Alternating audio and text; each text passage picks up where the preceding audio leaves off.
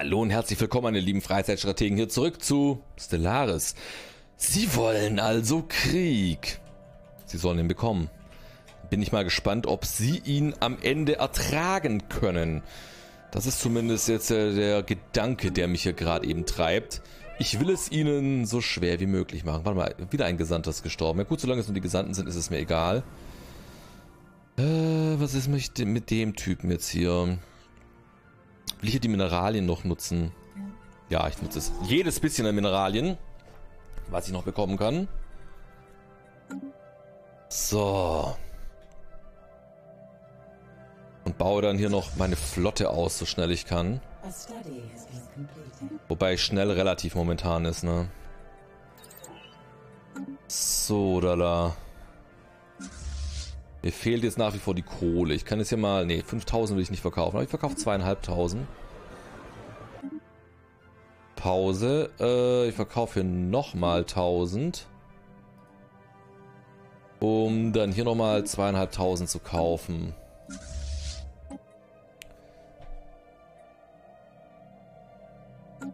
So, wie viel sind wir jetzt hier im Minus? Es geht noch.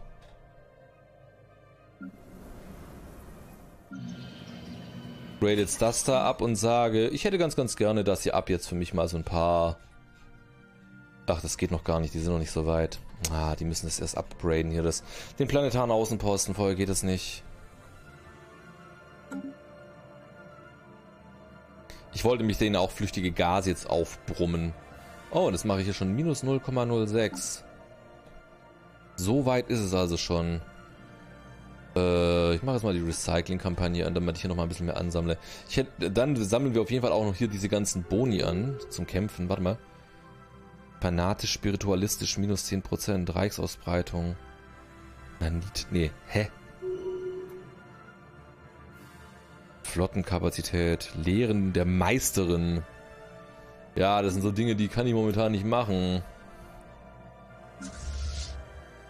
Mehr Schiffe bitte.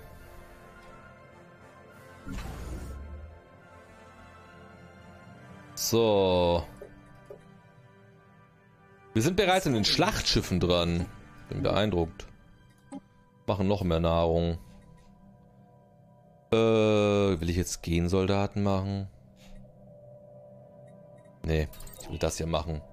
Alles, was mit dem Krieg zu tun hat. Ah, jemand erklärt uns die Rivalität.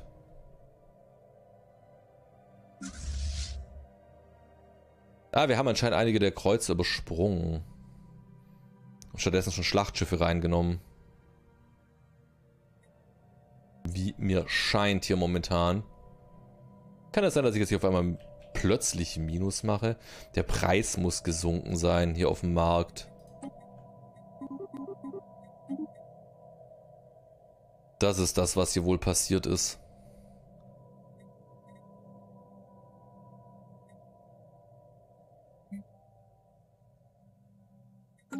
Also wie es aussieht, werden jetzt hier auch schon größere Mengen an Konsumgütern vertickt. Und man bekommt anscheinend fast kein Geld mehr für Nahrung. Wirkt fast so, als ob mich hier jemand aktiv hier sabotieren möchte. So, hier haben wir jetzt schon wieder zu wenig Wohnraum. Das ändern wir. Hier haben wir auch zu wenig Wohnraum.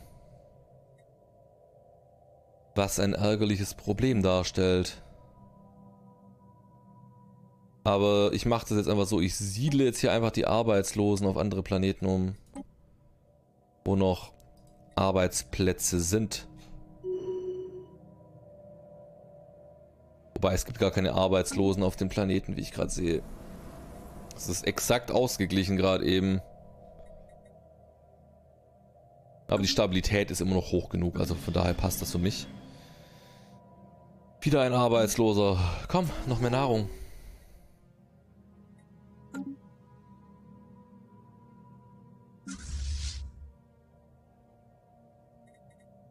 War schon minus 23 hier. Holy crap.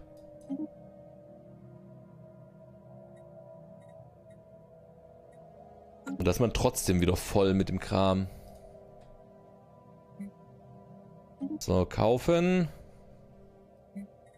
Äh, ich werde jetzt tatsächlich noch eins davon pro Turn verkaufen. Also pro Monat. Ich mache von den seltenen Kristallen einige plus. Da werde ich auch welche verkaufen. Zwei Stück pro Monat. Das darf doch nicht wahr sein. Wie sie alle wegsterben. Äh, ja, ist egal.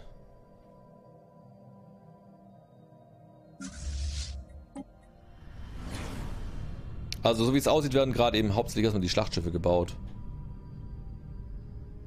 Warum mache ich immer noch Minus, ey? Ich verkaufe so viel, es scheint im Spiel völlig egal zu sein. Was ich hier gerade eben alles verticke. Kann natürlich auch in den Einkaufspreisen liegen. Ich guck mal gerade eben, kaufe ich eigentlich? Ja, ich kaufe. Ich tu mal hier zwei weniger kaufen. Das kann den Preis hier auch nochmal senken. Okay. Gensoldaten?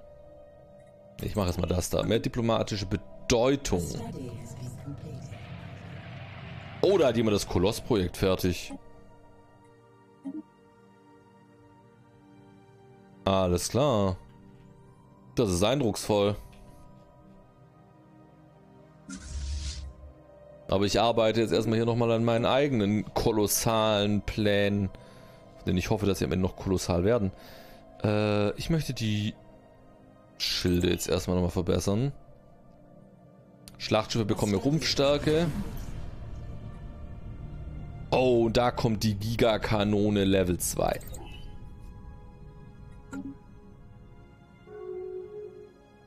Da sind wir schon bei 58k. Wir werden gerade noch zwei Schlachtschiffe gebaut. Und wieder mache ich Minus, das ist Shepard.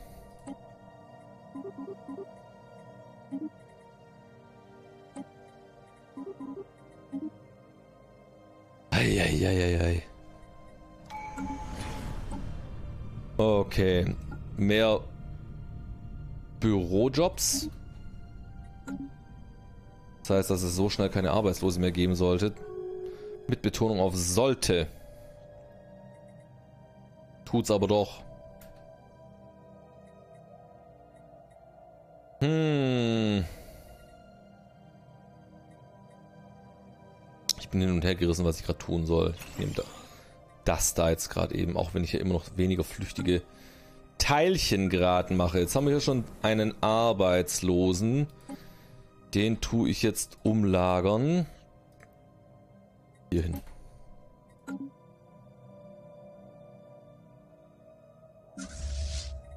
Und das nächste Schiff bitte. So, wir haben jetzt zwei Schiffe. Wir sind jetzt im Jahre 70. Sie haben uns noch nicht angegriffen, obwohl sie es schon hätten tun können.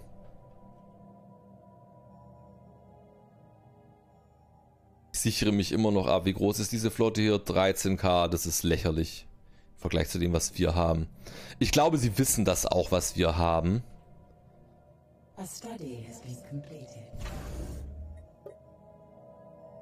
Äh, ich verbessere das hier gerade eben nochmal.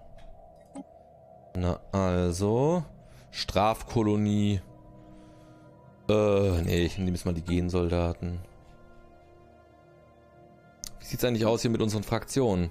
Das ist halt echt der Hard Hardcore, ne? Wir bekommen trotzdem keine Ethikänderung hin. Es ist fast unmöglich, ne? Also wie lange ich das schon mache, Leute, bedenkt das mal. Wie lange ich das schon mache. Ohne dass es einen Effekt zeitigt.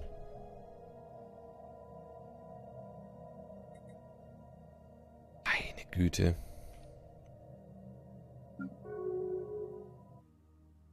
Hat der eigentlich mal hier jetzt angeankert hier an der Station? War denn das gerade? Seltsames Feuerwerk. So. Ich verkaufe jetzt zwei davon.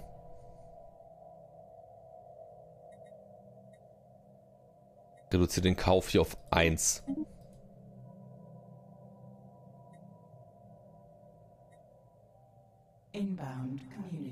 Was ist das? Ein Wirtschaftspakt.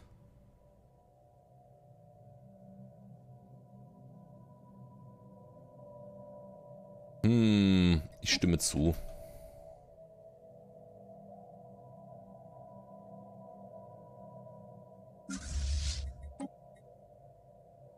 Jetzt baut mir mal noch bessere Schiffe.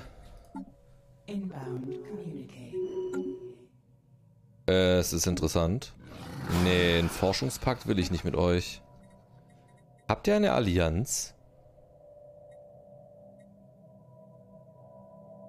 Will er sich mit mir anfreunden? Boah, ne. Sorry, aber das meine ich.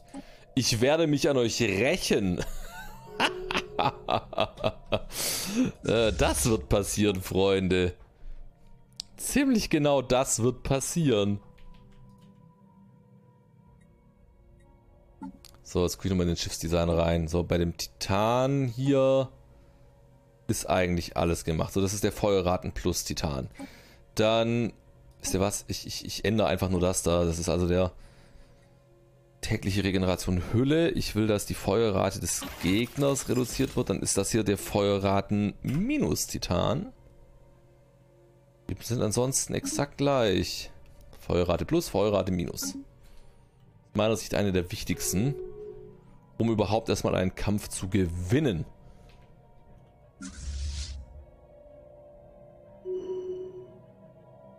So, und den packe ich nämlich jetzt hier schon mal. Also da kommt in diese Flotte der Feuerraten plus Titan. Und in diese Flotte der Feuerraten minus Titan.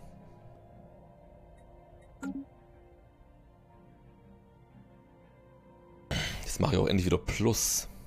Ich nutze jetzt ihre eigene Handelsmacht aus, um äh, mich an ihnen zu rächen.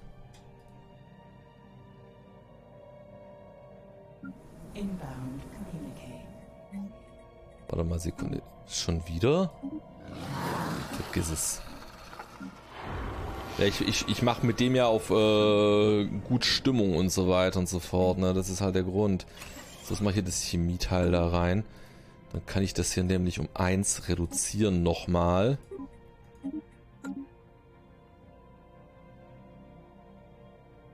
Ja, das geht alles noch.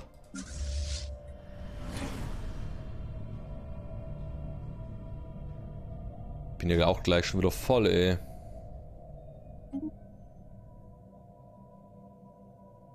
Aha, aha, aha. Was passiert, wenn ich echt... kriegst halt echt eine ganze Menge dafür, nur dass du das hier halt ansammelst, ne? So, jetzt kommt der Aufstiegsvorteil nochmal, oder? Mal Industriesubvention. Hm. Schmiedesubvention. Produktionsministerium. Muss es doch wieder erstmal machen. So, jetzt ist die Gigakanone Stufe 2 durch. Ähm, wir machen jetzt hier die Wirbelwindraketen. Und verbessere jetzt hier nochmal die Schlachtschiffe. Keine Ahnung, was da gerade eben so hart ruckelt. Den Kreuzern bleibe ich hier so.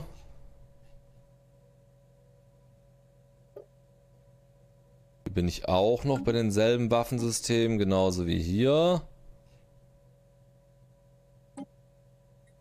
Passt für mich. Lasst euch upgraden, Schlachtschiffe. Könnte mich dann auf über 60 bringen, wenn ich Glück habe. Pro Flotte wohlgemerkt.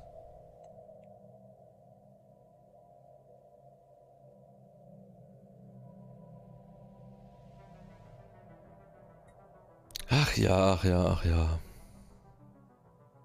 Ja, ja, ich bin schon längst über 60. Construction venture completed. Vessels have been refitted. 61. Hier wird nochmal ein Kreuzer gebaut. Äh, ich verticke nochmal zweieinhalbtausend davon. Man hat ja leider nicht so viel von all dem Zeug. Nochmal 500 davon. Und nochmal... Da hat jemand eine Zweigstelle bei mir gegründet. Wie frech. Hm, jetzt kann ich anfangen, Zro abzubauen. Warum auch immer ich Zro brauchen sollte. Aber äh, ich nehme es mit, wenn ich es haben kann. So, Flotte 2 ist gleich vollständig. Ich bin ernsthaft am überlegen, eine Flotte 3 aufzustellen. Einfach um ihn zu zeigen, was garantiert keine Weltraumvampire können. Aber jetzt warten wir mal ganz, ganz kurz, bis wir das alles soweit haben.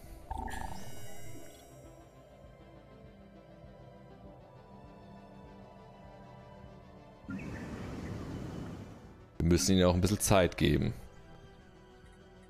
Moment, hier ist gleich Wohnraum knapp. Da komme ich der ganzen Sache schon mal zuvor. Hier fehlen schon drei Wohnräume, aber acht Jobs frei. Ich ersetze das jetzt hier in diese Richtung. Hier sind keine Jobs mehr frei.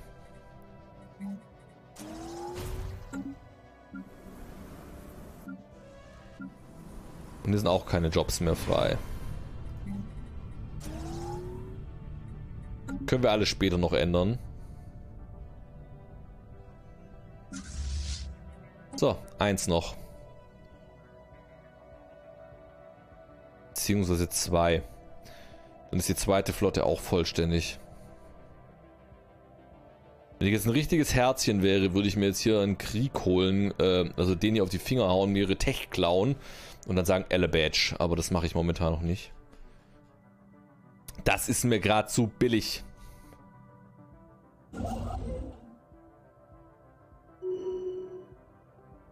Mhm.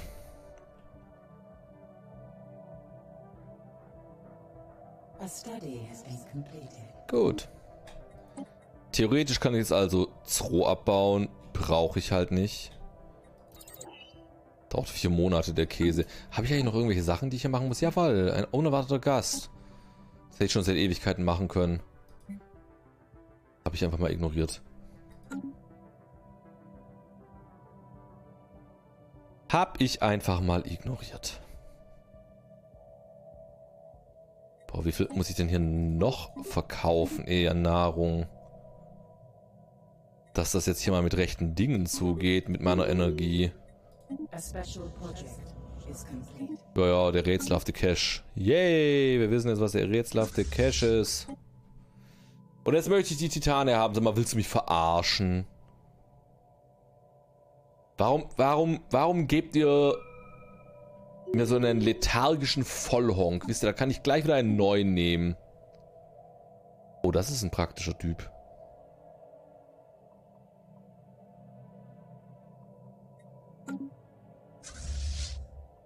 Gleich mal ausgetauscht.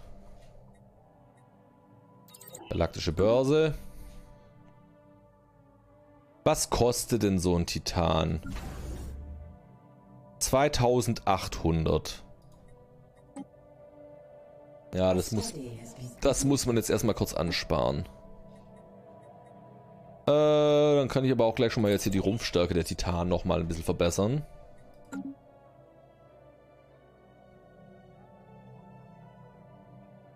Ich bezweifle, dass die KI sich darüber im Klaren ist, äh, was, in was für ein Hornüssennest sie gestochen hat.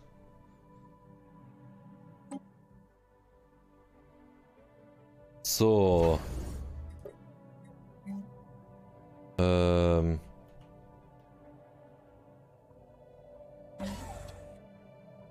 Verteidigungsanlagen noch rein.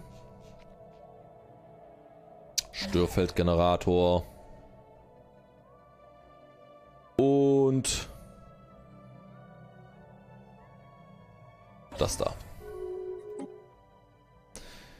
Obwohl ich ja nicht gerade im Sparen soll. Ach, wisst ihr was, das ist gar nicht so wichtig. Scheiß drauf.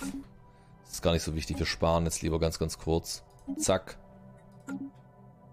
Gebt mir meinen ersten freaking Titan. Die brauchen halt auch noch eine Weile. Aber dank der unglaublich hohen Geschwindigkeit, die wir hier gerade eben äh, Legierungen machen, müsste das eigentlich funzen. Mehr Trefferpunkte für Schilde. Mehr Energy Credits aus Jobs.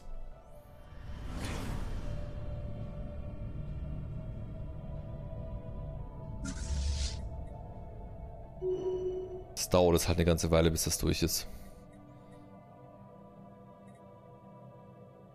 Hm. Wie gierig will ich sein? Sehr gierig.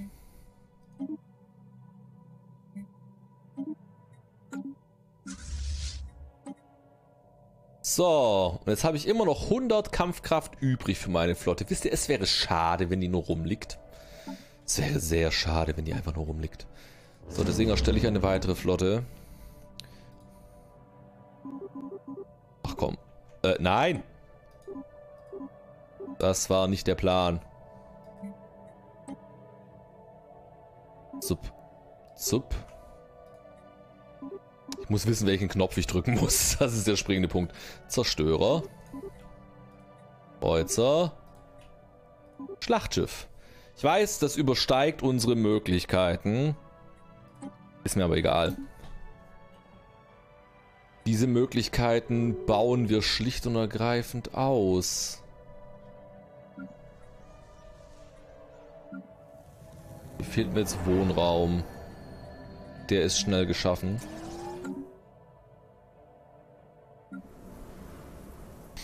Hm. Gebäude und Distrikte haben weniger Baukosten und erhöhte Baugeschwindigkeit. Ja, das nehmen wir gerne mit. Befehlslimit Flotte. Das ist interessant, aber ich will es gerade noch nicht. Das ist gegen später mal nochmal ein bisschen interessant. So, wie weit sind wir mit unseren Titanen? Ich baue zwei Titane gleichzeitig.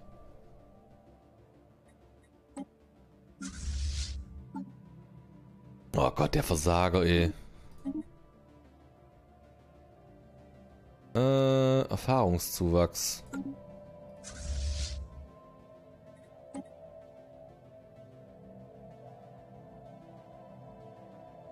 Ich sag's ganz einfach, sie sollen erzittern.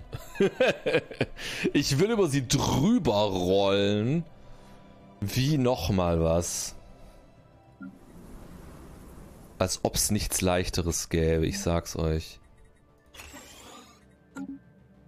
Das ist der Anspruch.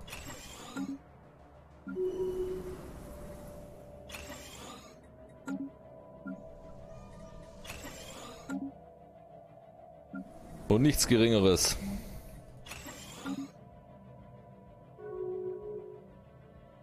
So, da kommen schon die ersten Arbeitslosen.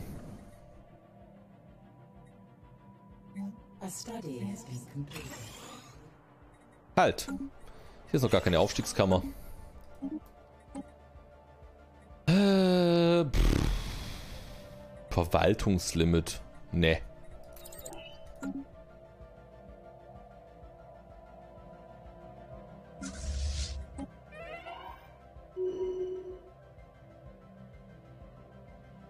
Unser Primogen ist verstorben. Im Alter von 212.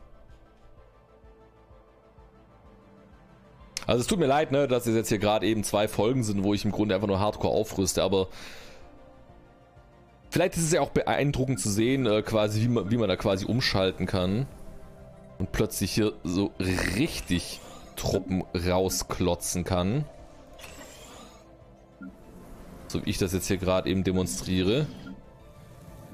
Für alte Hasen unter euch ist es nichts Neues. Für Leute, die das noch nicht so lange spielen, unter Umständen schon. Jetzt muss ich bloß darauf achten, dass ich auch noch hier Chemieanlagen baue, um das alles abzusichern. Und ich realisiere, dass ich das hier auch nochmal bauen muss.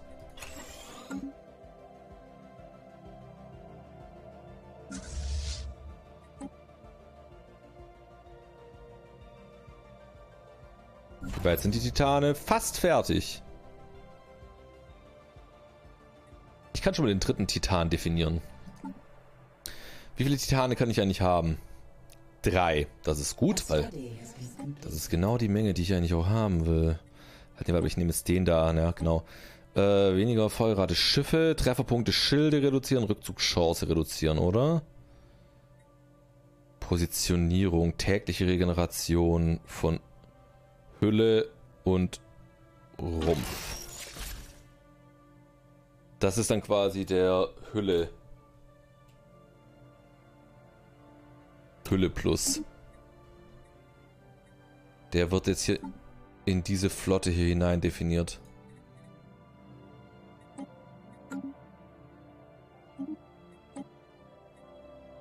Zitadelle des Glaubens. Ich weiß es nicht. Nee, ich mache erstmal andere Dinge. Die seltenen Dinge, die ich zwar gerade eben nicht wirklich brauche, aber ich mache es trotzdem.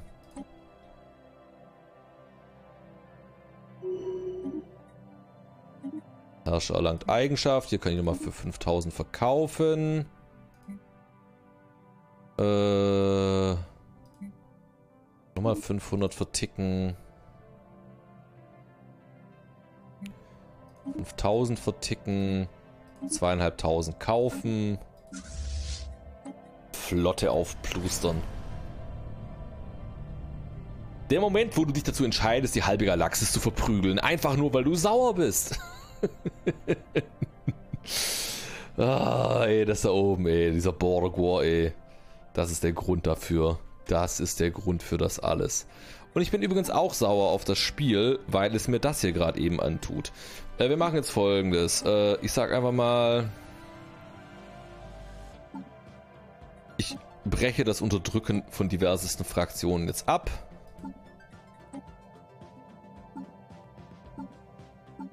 Lediglich das Fördern von der hier führe ich fort. Mehr mache ich gerade eben nicht.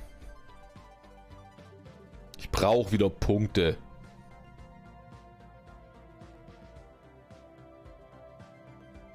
Was soll ich denn da machen, ey?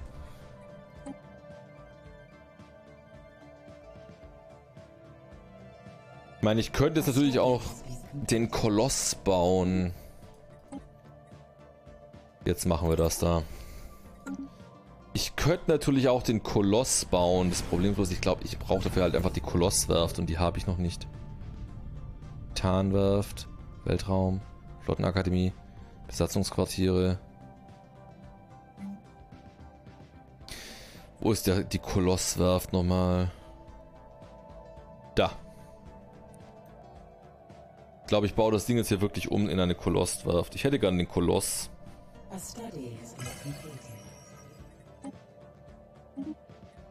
So, Titan haben noch mehr Rumpfstärke. Saugeil. Ähm, Weltraumtorpedos. Die Titane sind fertig. 70k Kampfkraft. So, jetzt seid ihr dran, ihr komischen Aliens, ich sag's euch.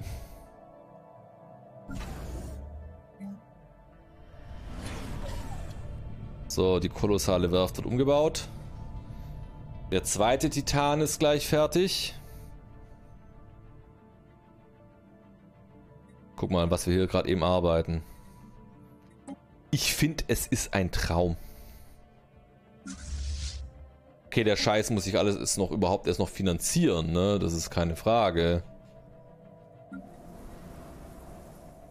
Aber wer von denen jetzt noch auf die Idee kommt, sich mit mir anzulegen, der braucht schon eine Flotte, die es Ah, da muss schon deutlich mehr kommen. Sehr viel mehr.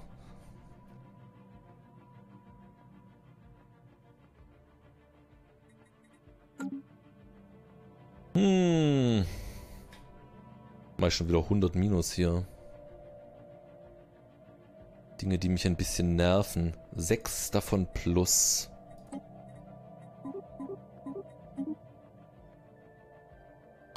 wie die Preise purzeln, ey.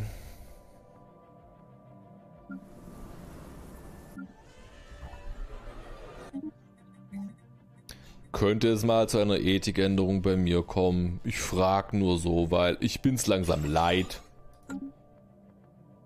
Bühne ist langsam leid.